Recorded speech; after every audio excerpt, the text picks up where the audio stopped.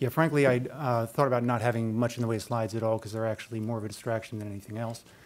Um, so, so we started the study. The first day we were conducting it, I went down to actually observe uh, what was going on in, in the lab. And I noticed a problem right away. I, I realized we were in trouble. Um, we finished the testing for that day. We went back uh, and I spoke with the managers of technology transfer and we analyzed what had happened.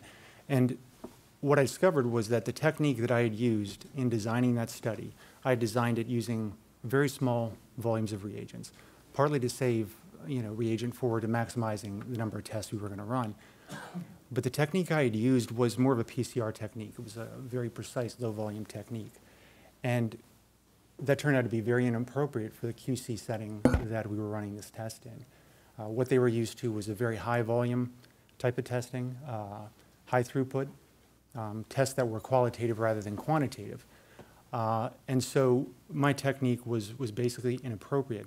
I learned a very important lesson, uh, and that was the importance of making sure that the scope of what I was doing, the scope of any plan or protocol I was developing, was appropriate to the setting in which it was actually going to be used.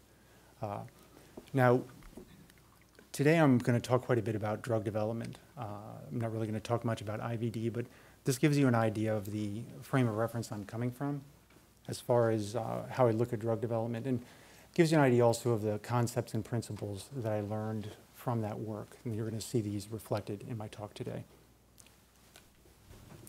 So a little bit about me. I am Mallard Research. I guess I, I can say I am Mallard Research. It consists just of me. Um, I'm a uh, contractor. I've been a freelancer for about four years. Uh, primarily a bit of technical writing, uh, medical writing, uh, but the most common way I get paid, the uh, work I do primarily for, for, uh, for a paycheck is, is technical assistance for IP litigation. I've done about a dozen cases, um, some in the biotech space, some in the generic drug space, a few in medical devices, but there have also been some tech cases as well. I've done technolo- um, network devices, I've done uh, some cases in aerospace, uh, some cloud computing, so a mixture of things, and that's kind of a, a story in itself. It's been an interesting education. But uh, my background, of course, was in IVD. I spent about 12 years uh, at a couple of different companies. And I started in R&D, did a lot of method development, uh, method adaptation, um, a bit of technical transfer, work for 510Ks. Uh, ultimately, I actually did some uh, small, small clinical studies. I would travel to, to various sites. And the result of all that was it gave me a good idea about uh, what it takes to make a business like that work. Now, in, uh, in parallel with that, I had around starting around the same time, 99, 2000, I started to pay attention to drug developers, took an interest in that. And over the years, I learned more and more about that industry, and I began to notice a pattern. I noticed that the experiences of these companies, whether it was a uh, clinical setback, a regulatory setback, or some sort of manufacturing issue, uh, the experiences these companies had oftentimes seemed familiar. I would see uh, essentially the experiences echoed the mistakes I may have made or the issues I saw or the things that happened in my own daily work. So it was a very nice parallel education, uh, and it both paths I was on over those 15 years informed uh, what I did and kind of led, sorry, kind of led me to what I'm doing today, which is, uh, and I use the title uh, healthcare industry analyst, and it sort of describes what I do, and it's a result of, of gaining a very good appreciation for, for the industry from those two paths that I, that I followed. Now, when I was, uh, sorry, when I was in industry, I, I, one thing I learned to appreciate was having enough information. I worked very hard to accumulate all the data that I could.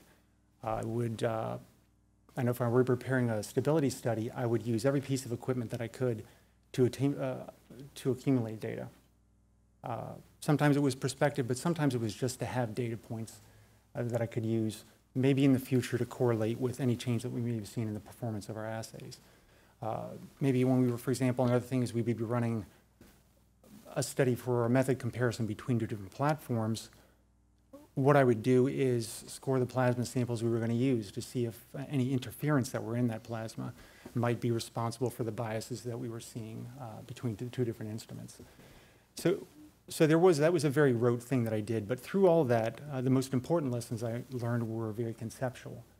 Um, the importance of, as I mentioned, the importance of making sure the scope of what I was preparing matched what ultimately was going to be used for. Uh, I learned about pitfalls, uh, various blind spots that you might have to look out for. Um, I learned the limitations of, uh, of data analysis. No matter how good it is, I realize sometimes uh, it's still not going to work out. So these lessons lead me into uh, what I'm going to talk about now, which is drug development. Now, I'm going to say a very bad thing here, um, but here it goes a phase three, a failed phase three, oftentimes makes the best phase two. Uh, and what I mean by that is the when you run a phase three trial, you have a very large amount of data, a very large database. Typically, these are going to be, you know, trials with hundreds of patients, maybe even thousands, a lot of different parameters, uh, maybe run for a period of many months. So you accumulate, accumulate a very large data set that when you see a failure, that allows you to actually turn around, use that to produce a protocol that has a high probability of success. Now, obviously, you don't want to, you know, you don't want to have a trail, uh, phase three trial fail. You don't set out to do that. If you're going to run a phase two, you're going to run a phase two trial. But uh, this just is an example of, of what it, the importance of learning from a mistake. I mean, what the key is when you have a failure, what does a company do with that? How do they respond? So uh, as a case study, an example of this, a really good one, is uh, the development of pimavanserin for Parkinson's disease psychosis. Uh, now, Parkinson's disease psychosis is, as the name implies, it's the psychiatric component of Parkinson's disease as opposed to the motor function issues that we're maybe more familiar with. Uh, there's an unmet need. Uh, as you can imagine, it has a severe effect on the, uh, on the quality of life of the patients who, uh, who experience it. So the company Acadia Pharmaceuticals was developing the drug pimavanserin for the treatment of that indication. I'd say uh, it's targets one of the serotonin receptors. I believe there are about a dozen of them, but this one in particular, uh, 5-HT2A, was determined to be, hopefully, for them, very important uh, as far as maybe mitigating the, the, uh, the, condition for these patients. So it was in phase three development about six or seven years ago. And uh, they reported the result, and it was, it, was a, it was an international trial. It was North America and Europe, about uh, 250 patients reported the result, and it failed. And now, naturally, they went back and looked at what had caused this failure. And uh, they found a number of, uh, a number of things. Uh, first observation was that in the trial, they had used three, do uh, three uh, two doses in a placebo. Now, what this did was reduce the statistical power of the data that they produced. If you have a robust result, it's great to have the option of two different doses. Uh, maybe you see one that has a little bit too much toxicity, you can choose the lower one. But in this case, it, was, uh, it contributed to a negative outcome. The, uh, the second issue was that the Parkinson's disease symptom scale actually includes 15 parameters. And of those per 15 parameters, actually only nine of them make a good contribution to efficacy. The other six are due to variability not particularly instructive, and so that was actually muddying their data. The, the third observation they made was that they saw something very interesting happen. The trial was conducted in North America and in Europe, and what they noticed was that there was a big discrepancy between the results in North America and these European sites. Uh, in, in, fact, the most significant discrepancy was between North American sites and Eastern European sites.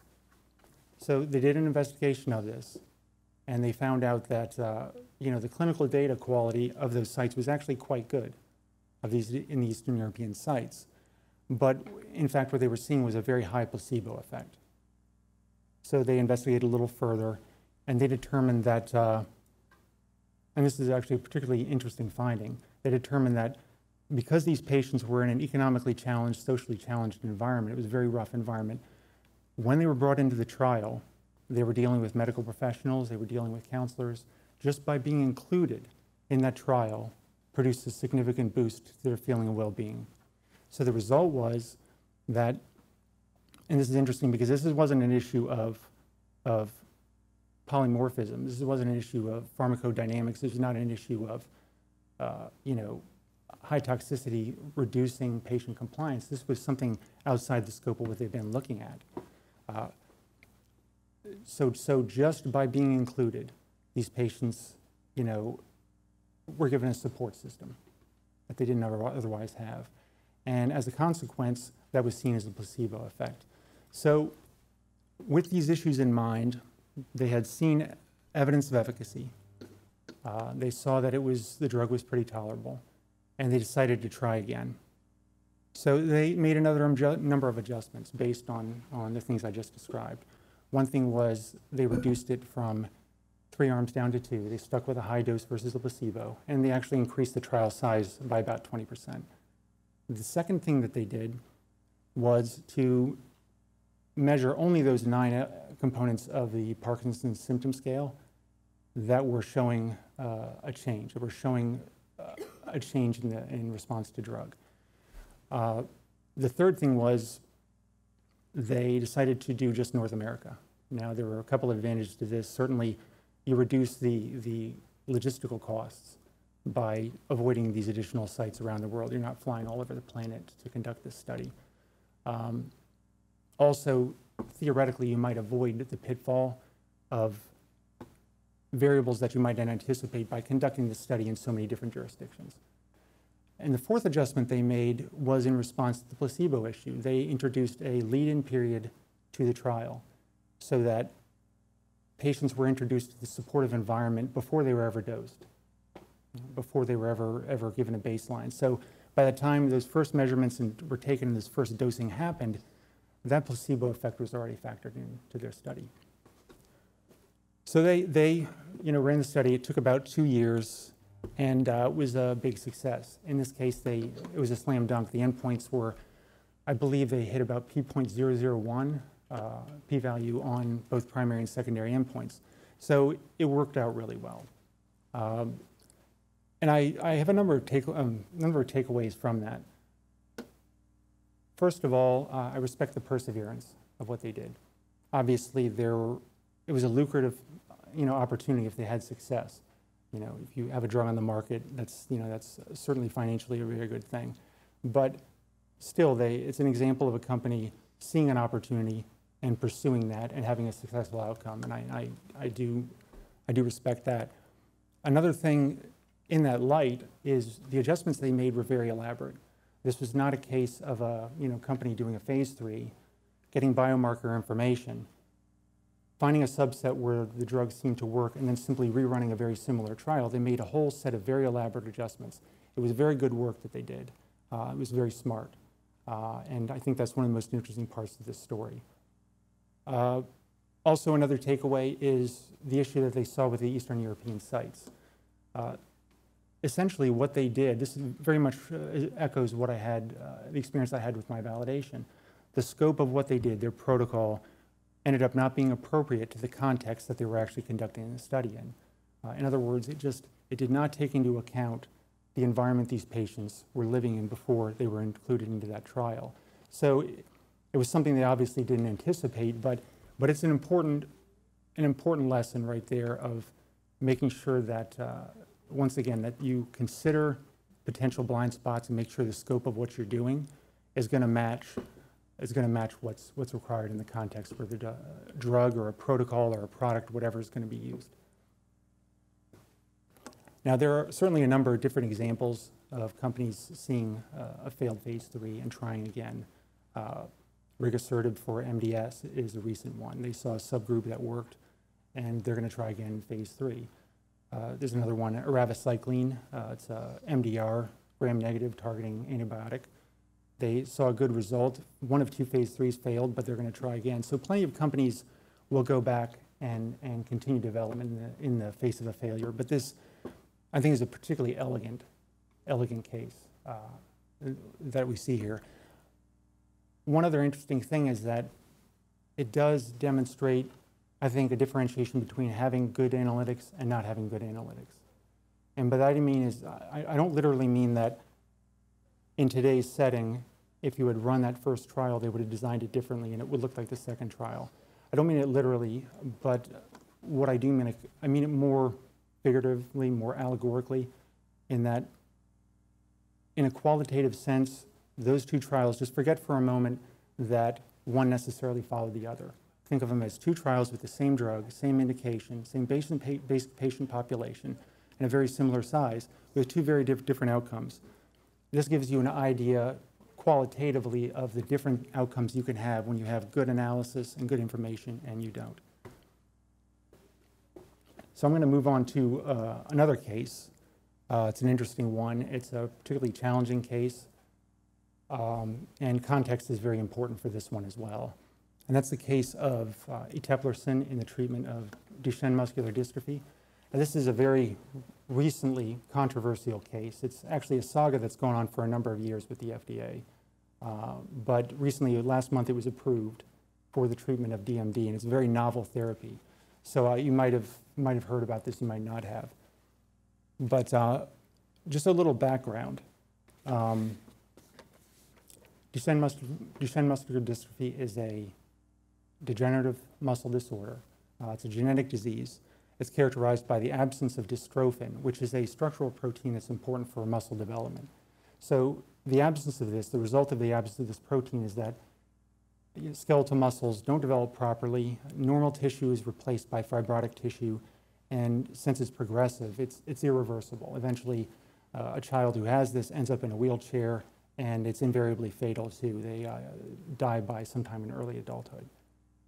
So, the, I mentioned it was a genetic disease. It results from absence of dystrophin that can result for a number of things. In some cases, it's a large deletion or large insertion into that gene. Uh, but some, but in about 83% of the cases, it's a much more specific error that causes it. It's actually localized to a single exon. So eteplirsen, the technology behind it actually exploits that feature. What it effectively does in the case of eteplirsen, it targets uh, an error in exon 51. So effectively, as, as a gene is transcribed, that transcript gets spliced. Prior to splicing, what eteplirsen does, it does is actually effectively mask exon 51 so that when you end up with an mRNA and that's translated, you get a read through in the proper reading frame. Uh, and there's no, if there was a stop codon error, for example, in that exon, or a frame shift resulted in that, you know, a deletion caused a frame shift in that exon, you would get a malfunctioning protein. Well, this just skips that. It, it ignores that exon so that your protein is somewhat, it's somewhat truncated. You're losing, uh, you're losing a few amino acids, but it's hopefully maintaining a large amount of the function. Now, as you can tell, that's a very, very novel, uh, very novel approach, and that's part of the challenge uh, that, that you see with this, is that as far as the development and regulatory aspects of, of this drug, it's, you know, it's not going to be a, a typical thing.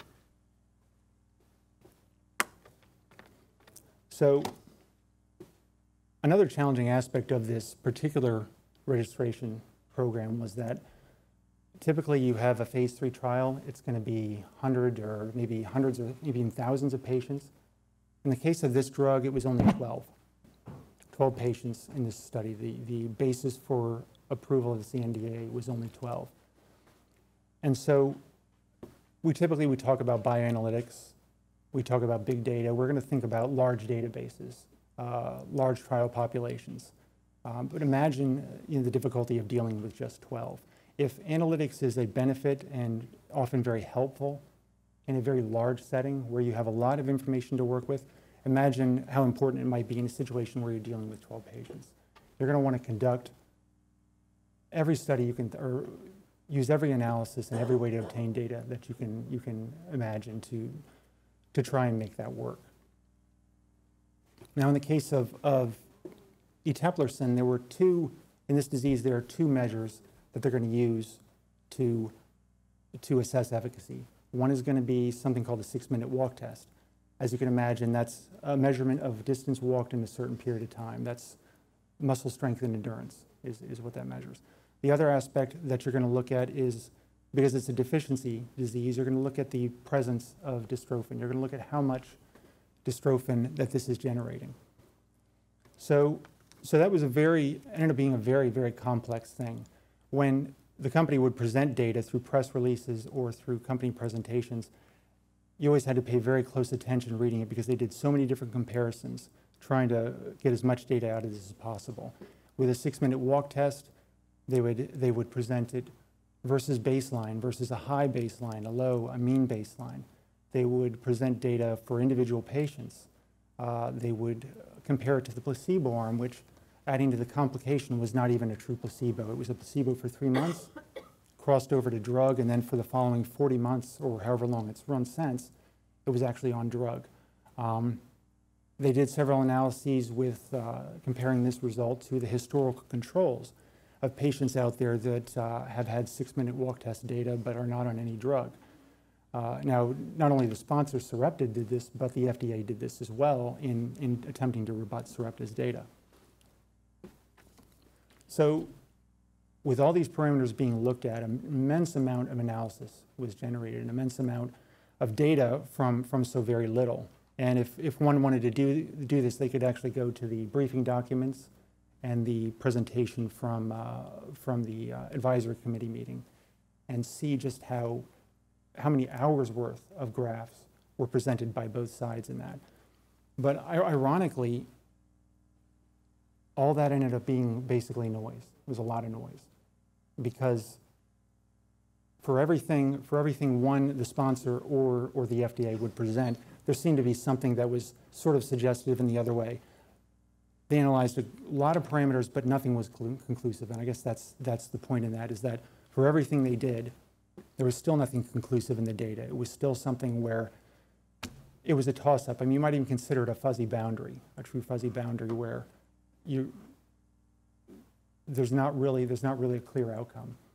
And so in that context, uh, now context is very important. I want to say one thing. The only reason we're talking about this, the only reason I'm talking about it, the only reason uh, it was such a controversy, the only reason the FDA didn't give it the boot years before was because of the context that this drug is in. And that's we're dealing with a fatal disease in a, in a pediatric patient population, uh, in an environment where there's a big spotlight on them, uh, a lot of attention, very heavy patient advocacy. I mean, the parents are, are very, very focused on, on getting this approved. And the result is heavy political pressure. And in that context, with, with the noise, and the noise is, I mean noise in two ways, actually. There was that, that pressure aspect of the noise, but the, the data itself was almost statistical noise there wasn't really much, much of value in, in the analyses that were being generated. In that context, I think two things that are very relatively small, simple things, but they, they may have tipped the scales.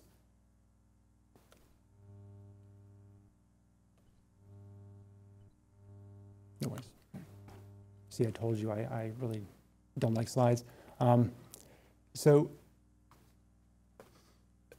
what ended up being important was that a little dystrophin and a clean safety profile were probably what tipped the scales for this. If, I mean, they had argued about the aspect of dystrophin, whether the test results for, for the presence of dystrophin were the appropriate tests. Should you use an ELISA? Should you use Western blot? Uh, how valuable was the mRNA data? Um, how much, how much dystrophin was was enough to make a difference for these patients? Was it even relevant to compare that dystrophin to a baseline, which is essentially zero? So, so the drug did seem to be producing a little bit of dystrophin. Wasn't what investigators had hoped to see as far as enough to create a, a disease-modifying effect for these patients. They had thought maybe 10 or 20% dystrophin compared to normal was enough to modify the disease. This was maybe closer to one or two.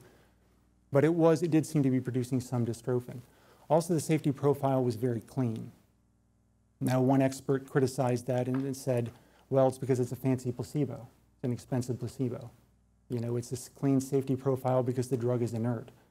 Um, now, leaving that argument aside, we did seem to be seeing some dystrophin, dystrophin, so we'll just leave that aside. But in the scheme of, of all this uncertainty and all that political pressure, there were those two factors that, that were probably enough in that situation to tip the scales in favor of approving this drug.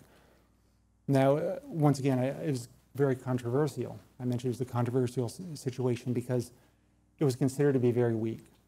Uh, some analysts who were you know, gaming the uh, chances of a successful outcome with the FDA, believed that uh, the issue of dystrophin as a surrogate marker was probably going to sink it because the data was so weak.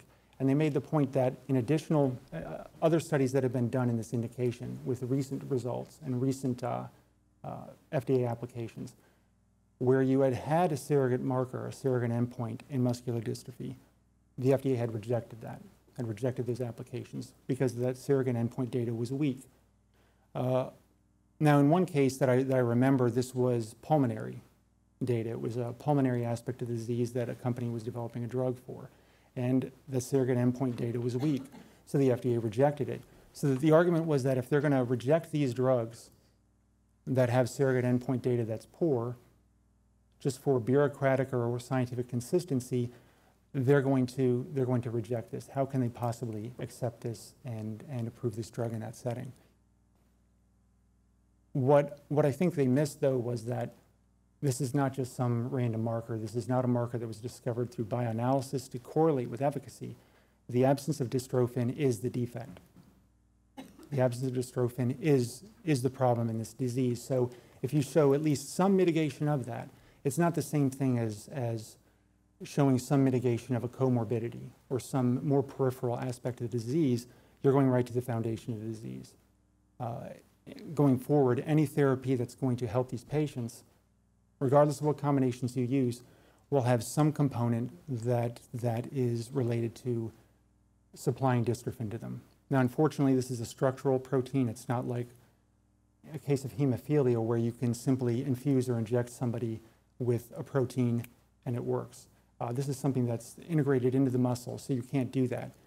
And the only two ways we can conceive right now of doing that are something like this, exon skipping or gene therapy, where you simply replace or, or you know, add back, remediate the absence of a, of a functioning dystrophin gene. But, uh, but, it, but in this case, yes, certainly you were dealing with a special situation. It wasn't your typical surrogate endpoint. And I think sometimes out there, when you hear clinical trials discussed and they'll talk about surrogate markers or biomarkers, sometimes it's surprising, but sometimes it's missed that in certain cases you're not talking about just some extraneous marker, you're talking about the actual target of a drug, and it's a very different setting. Um, we talked that long, huh? Wow. Yeah, it's a good story. Uh, there is, I could, I, there's one thing I could take about, you know, three minutes, is that okay? Okay.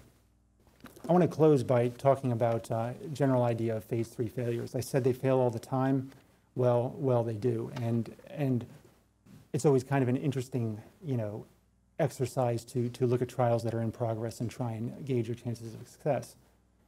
And one thing, when there's an upcoming clinical result, actually go back, upcoming clinical result, I always do an exercise. I, I say to myself, what could go wrong? Now, there's a certain, you know, tempting fate sarcastic aspect. You know, you might see da data that's extremely good in phase two, and your reaction might be, oh, you know, what could go wrong? The phase three is going to work. And I've seen cases that where it looked very strong, and, uh, and naturally you're going to think that, that your chance of success is very high. Uh, when I do that analysis, I, of course, I look at phase, three, uh, phase two data. I try and, you know, figure out what the chances of success are based on that, but I always ask myself what I'm missing. And there's a particularly interesting case, uh, selumetinib in KRAS non-small cell lung cancer. Now this was, this was, result was reported in August, and this was an example of a case where the data was very strong in phase two. It was actually the star of ASCO. Uh, they had very strong, it was not a small phase two, it was about 80 patients. It was better than a lot of them. Very strong, very high, highly statistically significant, uh, pointed to an obvious pathway forward in that disease. And so naturally they, they went into phase three with that. Uh, and that result was going to be due in the third quarter. So I was kind of on the lookout for that. Once again, as I said, the, uh, the result was uh, in phase two made me think that it was probably going to have a very good chance of success. But I, I, did an exercise. I said, what could go wrong? And I did have a nagging doubt, and that was that they had made a change in the formulation between phase two and phase three. They had gone from a oral suspension to a, to a uh, capsule formulation. Now, that shouldn't matter. They should have done their work, which of course they did to make sure that they were equivalent. There was bioequivalence there. But nevertheless, that was, that was a doubt in my mind. Uh, About a week later, the result was reported, and it- it failed. It failed. And so, at a rational level, I was surprised. The data had been so good in phase two, it didn't make sense that it was going to fail. But at an emotional level, I really wasn't surprised. Now, there's no way to know why. The company hasn't disclosed why they think it failed. They haven't, uh, maybe haven't done the analysis yet. They haven't disclosed plans going forward, whether they intend to pursue it or not. But I think what the important thing is that in this setting, a sure thing ended up failing. And whether my reason for having doubt had anything to do with it or not, there's no way to know. I mean, it could be, it had nothing to do with it. It could have been I was lucky. Maybe I was right for the wrong reasons. But I think the takeaway is that you're not necessarily going to know why, why your analysis is going to be wrong. You're not going to know why something might fail. It's important to remember that they can. You can be surprised that in the end of the, at the end of the day, no matter how good your analysis is, there are variables out there that you can't control. You don't even have access to them. And, and what seems like a sure thing can turn out to be, to be a failure.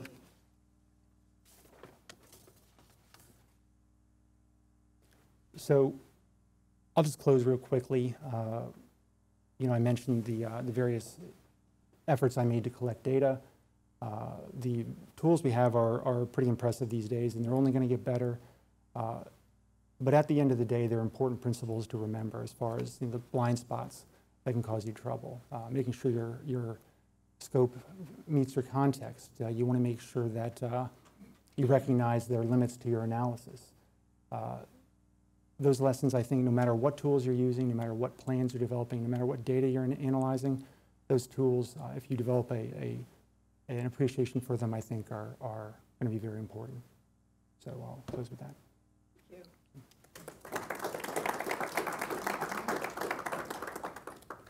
One question?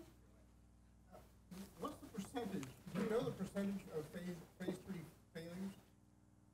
You know, it's one that's been quoted in a number of sources, and I haven't looked recently, but I think, I don't know, maybe 30, 40%, something like that. Uh, It might be that high. Um, I think that that's, I think that's partly based on, on the figure that I'm a little more sure of, which is when you have a successful phase three, um, when you,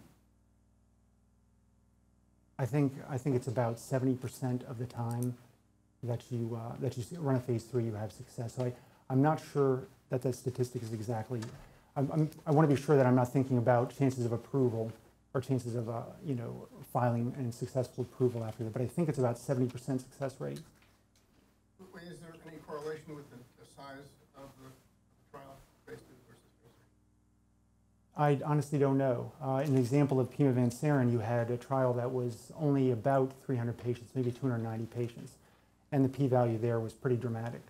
Uh, there are other examples of studies. Uh, there was this drug for, uh, there was a phosphate binder that's used in kidney disease patients, uh, a drug called Zerenex, kind of an interesting off-the-shelf product. That trial, were two phase threes, but those trials were relatively small also, uh, maybe a few hundred patients the result there was statistical significance that was very high as well. It was like p.0001, maybe several zeros more, to be honest. It was just, it was a very, very good result, but it was a small trial, so it very much depends on the setting.